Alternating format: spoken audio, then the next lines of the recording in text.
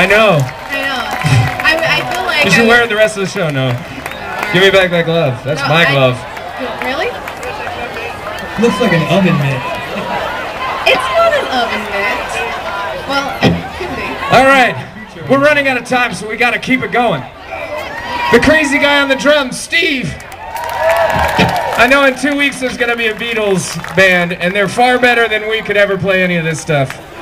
But we just love this song, so we gotta do it.